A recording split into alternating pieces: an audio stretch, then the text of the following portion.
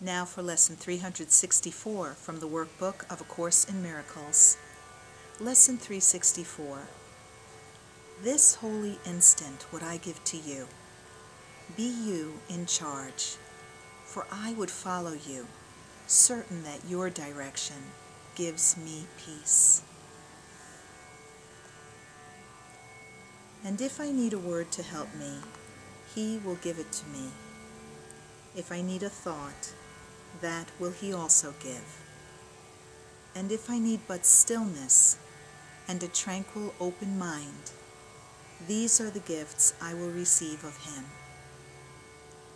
He is in charge by my request, and He will hear and answer me, because He speaks for God my Father and His Holy Son. Lesson 364 This holy instant would I give to you. Be you in charge, for I would follow you, certain that your direction gives me peace. Namaste.